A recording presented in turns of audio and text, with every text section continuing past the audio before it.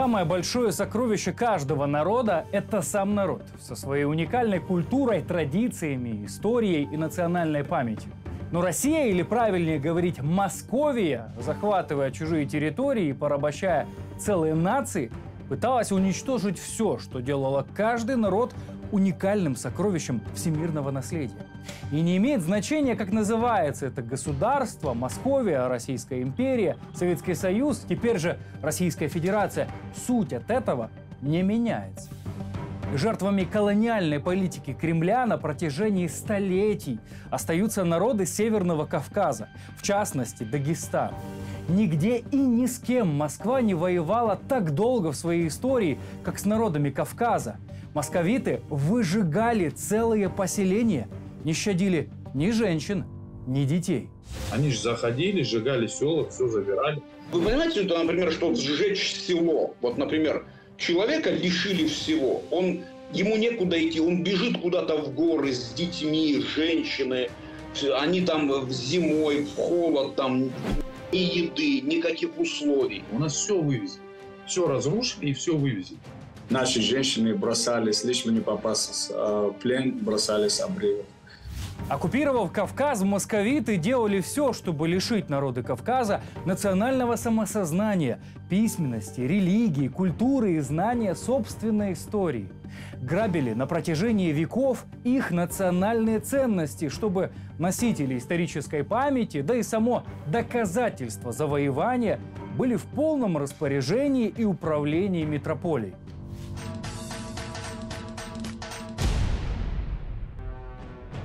Россия, русские исторически с момента прихода на территорию Кавказа, в том числе и Дагестана, они похищали нашу историю. Они не подпускали нас к истокам своего прошлого. Российская власть всегда максимально презрительно относилась э, там, к традициям религии, к религии, конечно, прежде всего, к традициям каким-то к духовному опыту там, народов, которые она покоряла. Это была осознанная политика. Политика, где э, они э, преследовали цель принижения роли, значения культуры, языка народов Кавказа. И в этом отношении они преуспели везде, на всем Северном Кавказе. Они всегда приходят с одними и теми же ценностями ограбить, извратить все, все, все, что было прежде, и на этом что-то строить свое какое-то величие, вот эта имперскость. На Кавказе были очень сильно развито образование, все было развито, медицина. Были люди ученые, знающие мой прадед, э, прапрадед, он был ученым, богословом. Так вот, у него была библиотека своя. В селе, высоко в горах, в селе была огромная библиотека, которая, когда русские захватили наше село, вывезли эти все книги просто центр села и сожгли. Вот что делалось э, с нашей письменностью, с нашим культурным наследием, э, с, э, с тем, что было у нас, у нашего народа. Мой прадед знал пять языков в легкую да, и это не проблема, и это не что-то удивительное было, это вот э, просто нормальная вещь, что ты можешь. Каждый человек знал 4-5 языков минимум. Уже тогда переводились с, с арабского языка труды Авиценны на языки местных народов. У нас э, достаточно высокий уровень цивилизации был э, в Кавказе, хоть это и кажется, что горы там вот там. Нет, это так, да. Но все-таки вот по сравнению с тем культурным наследием, да, которое у нас есть, на самом деле колоссальное. На Кавказе все-таки главную ценность представляли из себя люди. С приходом России даже за 200, 200 лет современная учеба, знания уходят на третий, четвертый план. Они специально загоняют, чтобы люди были менее образованные, менее знали свою историю. Всячески делается то, чтобы культуру и цивилизацию Кавказа не показать такой, какой она была, показать дикой. Мы не являемся хозяевами э, не своих э, исторических каких-то ценностей. У нас все под контролем Москвы. Памятники э, прятали от нас забирали, из них строили дороги, мосты, сооружали культовые здания. История Дагестана превращена во что-то ненужное, такое маленькое историческое, там какая-то памятка вот в виде брошюры по истории России, по годам, по векам, по классам. Археологические раскопки, в том числе и изыскания разного рода, проводимые на территории Кавказа. Это все было исключительно под контролем КГБ и э, приближенные работающие на КГБ ученые. И поэтому мы можем только догадываться, что только не было, не было вывезено с территории Кавказа. В Дербенте на строительстве нашли два клада золотых монет, которые датируются 11-12 веками. Московские археологи тут же приехали, забрали все это в Москву, дабы оценить. И себе там и выставили но не в Дагестане, не в дагестанских музеях, а в московских. Какие только артефакты они там не находили. И разные изделия, и золотые, там, и, и серебряные. Здесь даже не ценность, драгоценностью металла представляла, сколько там обозначалась культура этого народа. Оно все пропадает, особо что же не не показывается именно в Дагестане, что это связано. Да, то, что ценное, то, что более это сразу объявляется, что это российское достояние. Оно уходит в российские сокровищницы, не в дагестанские. Сегодня разные кавказские народы по праву позиционируют себя как наследниками аланской культуры. Мы же ничего не получили. Кавказские ученые не были допущены к этой истории. Если мы попадем с вами в музей Республики Дагестан, мы будем видеть, знаете что, не дагестанскую историю, а историю России. В этом зале у нас представлена выставка предметов Петровской эпохи. Минимально показана история, которая показывает жизнь до оккупации России. Будем видеть огромные портреты генералов, которые были в Дагестане, уничтожали наши села, сжигали, убивали наш народ, насиловали, убивали и стар, и млад, никого не оставляя. Вот мы будем видеть основную историю этих, этих людей, историю России. Национальный музей Республики Дагестан обладатель уникальной коллекции, личной коллекции князя Борятинского. Очень мало мы можем увидеть а, а, настоящую историю своего прошлого, своего народа. Отдельной страницей музейной летописи истории Кавказской войны э, принадлежит э, Хаджи Мурату, знаменитому Наибу Шамиля. Это молитвенный коврик Хаджи Мурата. У народов Дагестана были свои лидеры, были свои герои, которые точно так же, как они были и у других народов, воевали против произвола, против захвата России, территории и Дагестана, и Кавказа. Это один из полководцев имама Шамиля, это Хаджи Мурат. До сих пор его отрезанная голова находится э, в Санкт-Петербургском. Он с камеры. Мы храним не голову Хаджи Мурата, а череп. Кстати говоря, когда ее, эту голову отрезали, они ее привезли в Тифлис, и выставили вот этом в здании, по-моему, городского собрания, и люди ходили и на нее смотрели. Вот вы представляете, вот, например, где это обычаи какого-нибудь африканского племени. Но эти люди на полном серьезе говорят, что они принесли цивилизацию. Но как может быть грязный грязный русский э, генерал или солдат принести в Дагестан цивилизацию? Нигде не не, не, не встречалось, чтобы те, кто завоеватели перенимали себе оружие завоеванных народов, потому что они были, в общем, как раз более цивилизованные. Вот. А в нашей ситуации получилось, что империя очень много переняла и в костюмах, и в оружии. Бестужев-Марлинский, он описывает то, как они там взяли один табасаранский аул, вот. И вынесли, солдаты вынесли ковры, лошадиные сбруи, там, украшения. И вот офицер, дворянин, который, и он описывает это с восторгом. Понимаете, вот казалось, он дворянин, там, какое-то должно быть такое возвышенное понятие там, о чести. Вообще русский вот этот солдат или там даже офицер – он очень так комично выглядел в образе цивилизатора. Россия вывезла голову Хаджи Мурада. И по сегодняшний день глава Хаджи Мурада хранится в музеях, хранилищах российского государства.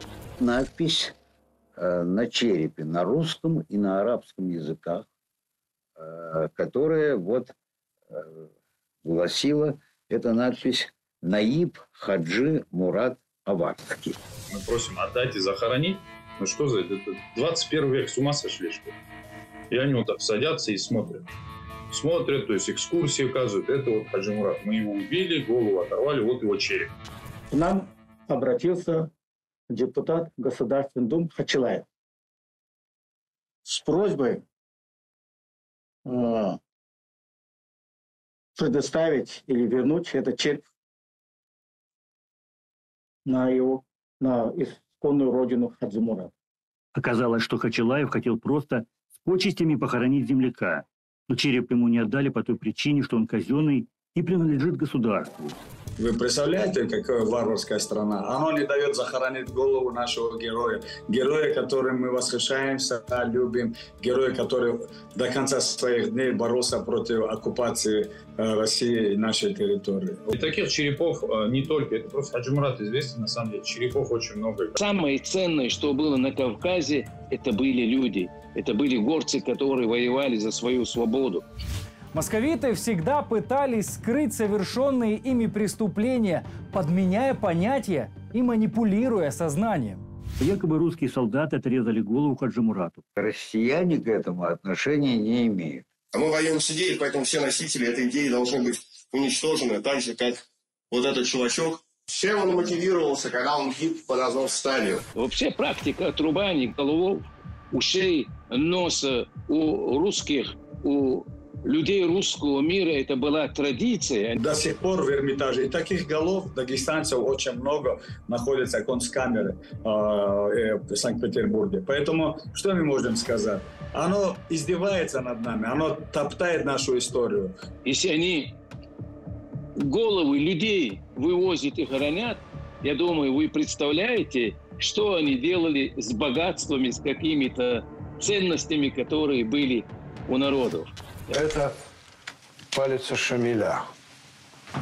Шамиль, великий борец за свободу Кавказа. Россия не даст возможности нам восхищаться своим прошлым, говорить о прошлом, восхищаться своими героями, превращать их в какой-то культ независимости, свободолюбия и так далее. Эти зерна Москва будет уничтожать. На всех уровнях работает Россия. На уничтожение идентичности дагестанцев. Естественно, и кладбища, и мечети, и все это они уничтожали просто. И они с центра Чуаймартана, с могилы, могильные памятники увезли.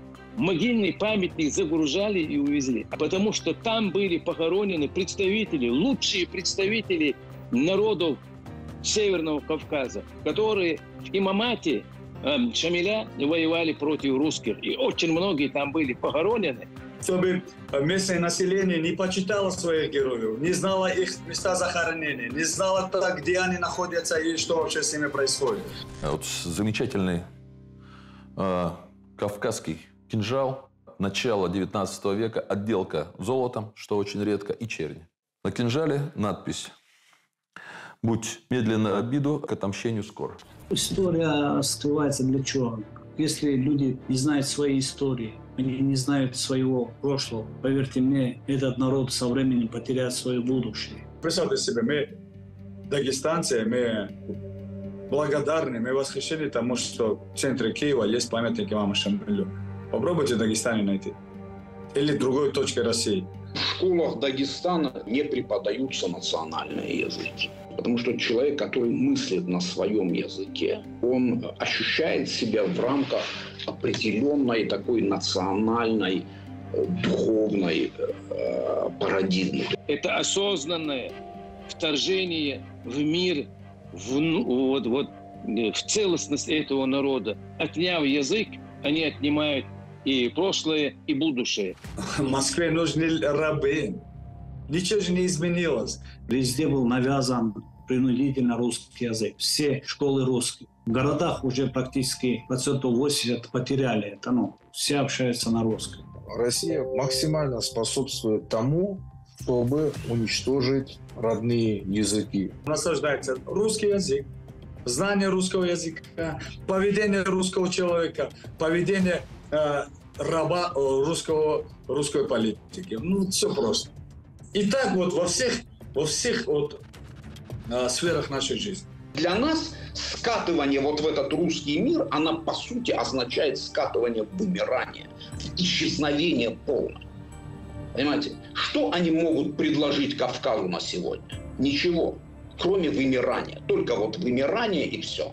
Уничтожая язык, уничтожая историю, уничтожают будущее нации и нацию вообще. Они хотят, чтобы мы говорили «я русский». Это, это нонсенс.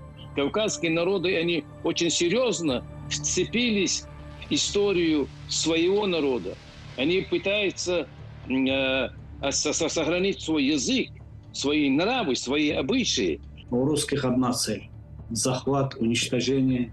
Русские совершили очень серьезный подлог и захватили чужую территорию. Они украли у украинцев э, славянство, они украли у украинцев родину всех городов Киев, Киевскую Русь, и они украли у тюрков их историю, они присвоили его. И вот, вот этот конгломерат, вот какой-то намешанные угоро-финские, тюркские и славянские народы, из всего этого, из этой каши они и сварили русский народ. В русский штат такого нету, такой нации. Десятки национальностей, которые они захватили, обманули и уничтожили.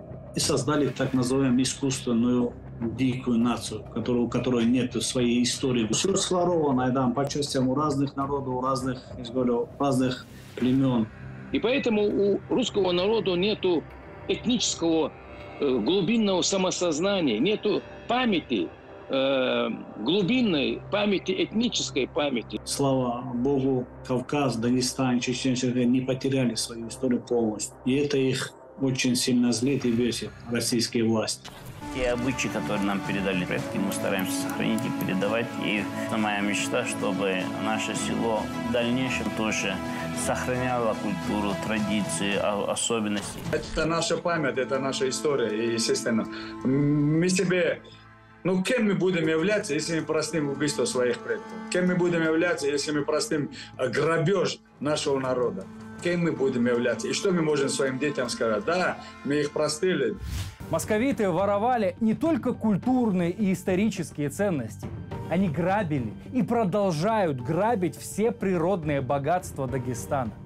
Ну, относительно Дагестана, это самая богатая республика оккупированного Северного Кавказа. Горная местность – это всегда как минимум половина таблицы Менделеева. Запасы э, золота, э, платины, серебра, других металлов да, и так далее. В Дагестане столько а, нефти и газа, что поверьте мне, что если вместе взять Саудовскую Аравию, Кувейт, Эмираты, намного лучше будет, намного больше запасов. Азербайджан и Дагестан на одном плато находятся нефтяном.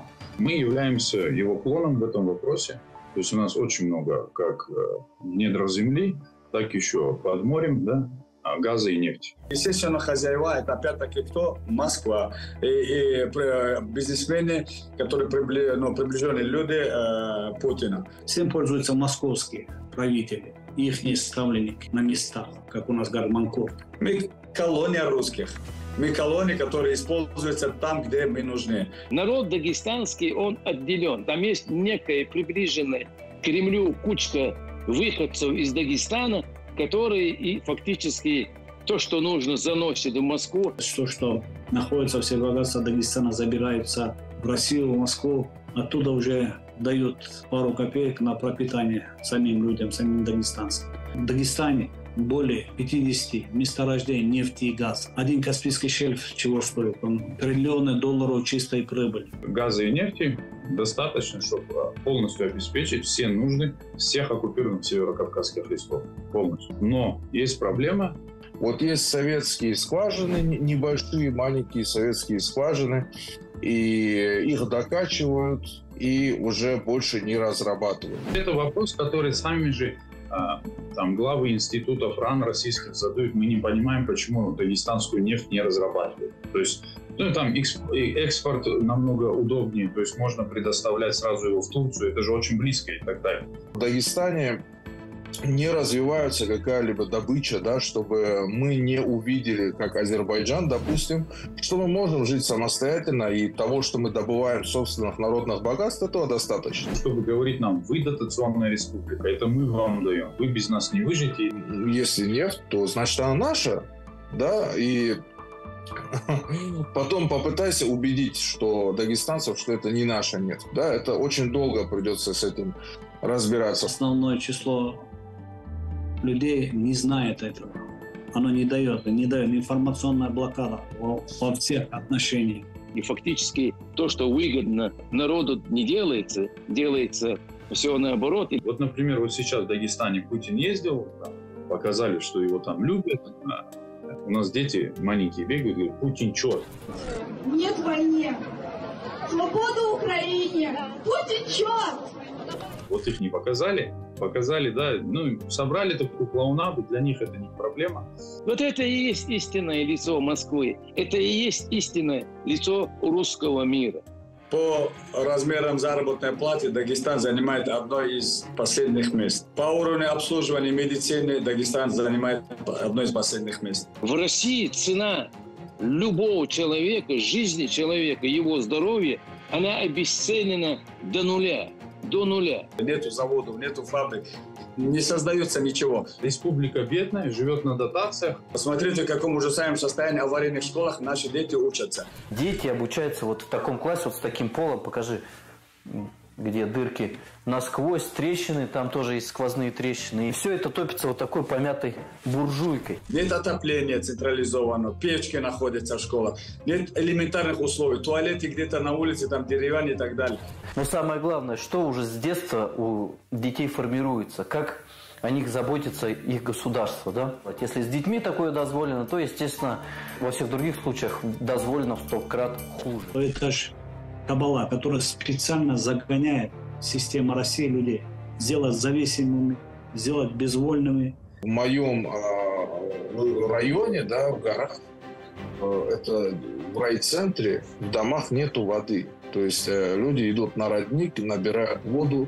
То же самое касается газа. Баллон нужно купить, привезти, свет могут отключить на месяц. У нас не только не дают как бы развивать собственные ископаемые.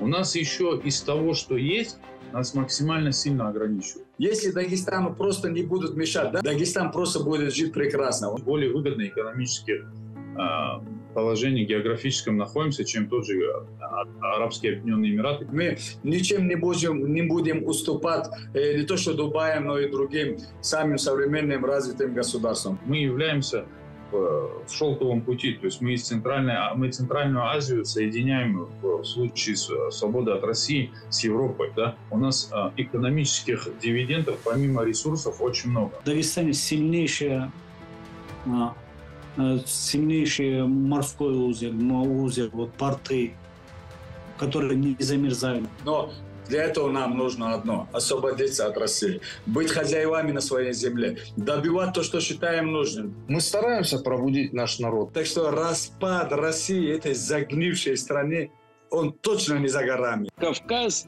он всегда мыслит категориями независимости. Кавказ всегда мыслит категориями, что он себя никогда не позиционировал, что это часть русского мира и часть русской империи. Они понимают, что мы ненавидим Россию. Они понимают, что большинство населения Дагестана ждет развала России, ждет того, чтобы мы получили независимость. Кавказ всю историю свою находится или в войне с Россией находился, или в сопротивлении. Эти настроения нигде они не убавились. Носителями этих настроений огромное количество в каждом народе. Но еще раз, это очень важно, должна быть какая-то критическая масса, которая в народе соберется для того, чтобы не только об этом говорить, и если мы будем жить в России, естественно, и будущего у нас никакого не будет. Только со свободой Дагестана придет благополучие нашим людям. Самое сейчас наше основное выход из состава России, свободная независимая страна Дагестан, Чечня, Черкесия, все страны Северного Кавказа. Кавказа, естественно, будет, должен быть независимым, а не в составе России. Мы люди свободолюбивые и хотим просто простого своей свободы своего, в своем доме. И все, по большому счету. Политический союз народов Кавказа неизбежен. Почему? Вот Дагестан это, многие говорят, невозможно. Я говорю, Дагестан это пример Кавказа. То есть маленький Кавказ это Дагестан. Почему? У нас 60 с лишним народностей. Живем же вместе. И как мы все друг друга называем? Дагестанцы. Поняли, да? Когда я рядом с чеченцем стою, вы откуда? Я говорю, мы всегда, я говорю, это от уважения друг к другу. Мы с Кавказа. Мы не говорим, я с Дагестана, а он с Чечни. Кавказ, он одно целое, это один организм. Близким народам по менталитету, по культуре и религии, очевидно, нужно быть вместе. Я, конечно же, за то, чтобы быть вместе и решать наши проблемы сообща. У нас цивилизация общая. И даже, вот я говорю, идеологически даже, если разных возьмем, мусульмане и христиане, они одинаковые. То есть мы садимся, и у нас один вектор мышления, одно понимание, одни ценности, одни обычаи, одни принципы. Мы должны безопасность друг друга обеспечивать. Не будет России, не будет там межнациональных проблем никогда. Все решается советом старейшин, законами. Мы друг в друге нуждаемся. Дагестан дает там выход к морю. Другая республика дает выход там с другой страной. И третья республика, там есть уникальные какие-то свои там преимущества природном э, ресурсе, ископаемым и так далее. Поэтому мы, мы скорее всего, мы более чем уверены, что, что мы будем жить в каком-то политическом таком конфедерации этих республик. Мы создали международное общественное политическое движение Кавказский, Кавказский союз. Туда вошли все кавказские страны, это, то есть практически все. А, штаб-квартира в Брюсселе и в Киеве. Это первый раз за много лет, когда объединился весь Кавказ в борьбе против империи российской. То, что мы можем добиться этим объединением, даст нам определенную безопасность. Если создать конфедерацию кавказских стран, заключить союз с Азербайджаном, с Грузией, с Украиной, с Турцией, поверьте мне, это будет один из серьезнейших союзов в этом регионе Евразиатском. И с этим союзом будут считаться все страны мира. Я уверен, кавказские народы пойдут по верному пути и обретут свою независимость. Будь это в одном государстве, а это лучше всего, когда будет кавказское государство. Или же э, каждый народ или субъект, или регион обретет независимость. Здесь не столь это важно. Главное уйти, уйти из э, плена э, государства российского. Вот это я считаю самое важное. Поверьте мне, это с Божьей помощью будет очень скоро мы этого добьемся. Если мы хотим сохраниться как народ, мы должны с этого поезда выпрыгнуть, потому что этот поезд идет, в общем-то, в пропасть. Сейчас самый такой момент, чтобы освободить минимум Северный Кавказ. Сегодня много надо будет сделать народам Кавказа, чтобы понять свою культуру, чтобы понять свою историю. Можно сказать, мы последнее поколение, которое должны вернуть объектов культурного наследия, базис, да, на который будем показывать наши библиотеки, то есть э, объекты культурного достояния. В общем, нашу цивилизацию в, исторических объектах, которые сохранились, да, они несут эту историю, они несут эти обычаи, они несут причинно-следственную связь нашего поведения, нашей цивилизации и так далее. Я считаю, вот когда закончится война, когда Украина э, все-таки избавит народы постсоветского пространства от этого иго русского мира, вот тогда ученым, историкам, исследователям надо чаще встречаться. Они должны проводить конференции и исключительно опираясь на исторические, фактологические материалы, они должны вернуть каждому народу его прошлое, украденное русским, русской империей, русским миром. Нам нужно вернуть все культурное наследие. За каждого убитого героя мы будем спрашивать представителей Москвы и их рабов Дагестана. За каждый утерянный музейный экспонат, за каждое сожженное наше село, за каждого человека мы будем пытаться и спрашивать с представителей Москвы и их представителей на местах. Мы никто не забыт, у нас ничто не забывается. Путин сделал военно-политическую ошибку, да? Украина ему кадык вырвет.